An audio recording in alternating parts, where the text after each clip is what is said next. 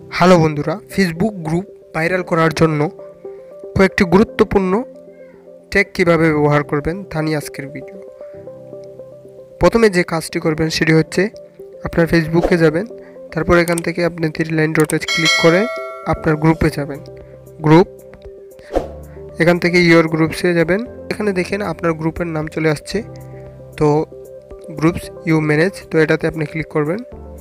তারপর দেখতে পাচ্ছেন একটা স্টার চিহ্ন উপরের দিকে, সেটাতে আপনি ক্লিক করবেন।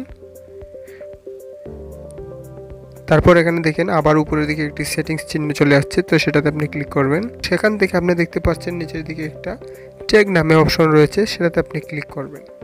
এখানে দেখেন অনেকগুলা ট্র্যাক চলে আসছে।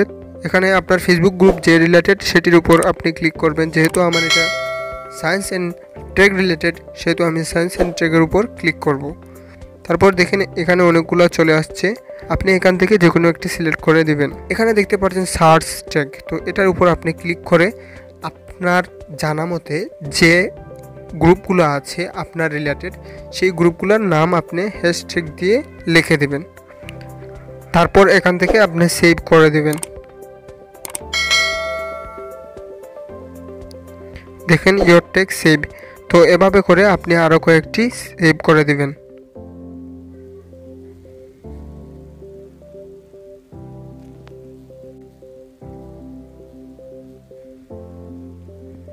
এই ছিল আজকের ভিডিও। ভিডিওটি কেমন হয়েছে অবশ্যই কমেন্ট বক্সে জানাবেন। ধন্যবাদ সবাইকে।